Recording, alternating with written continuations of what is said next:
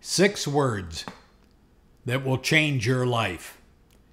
And I ask you to do more than just hear this and watch this.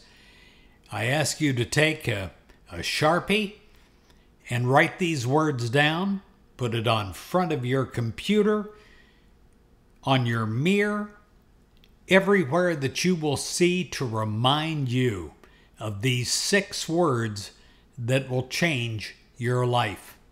Are you ready? I let go. I let God. I let go. I let God. Now, my friend, are you facing some challenge that just seems overwhelming? Are you concerned about making the right decision in a matter of perhaps great importance?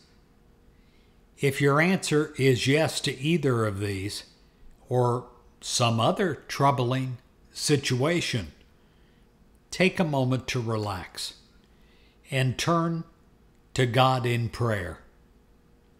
And in this moment of quiet prayer, still your thoughts of confusion.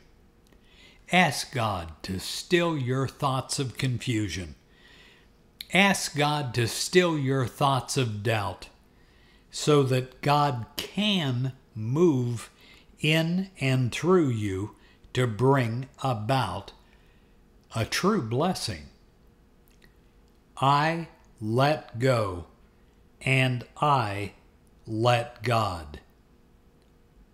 No matter what circumstance arises in your life, I let go I let God.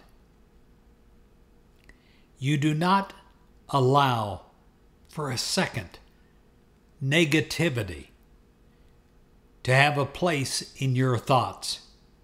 You stop it at the start. I let go and I let God. You confidently release each situation freely to God, and you know that you need never doubt the perfect outworking for everyone that is involved. I let go and let God. As you let go and you let God be God in and through you, you express your faith in God to bring about perfect order in your life. Your faith is in God, and you consecrate yourself in a new way to being a channel through which good can be manifested through you to bless and to benefit all. Now, that is your mantra for today. It is your prayer for today. It is your action for today. And I pray every day. I let go. I let God. Say that with me. I let go. I let God. It is so decreed.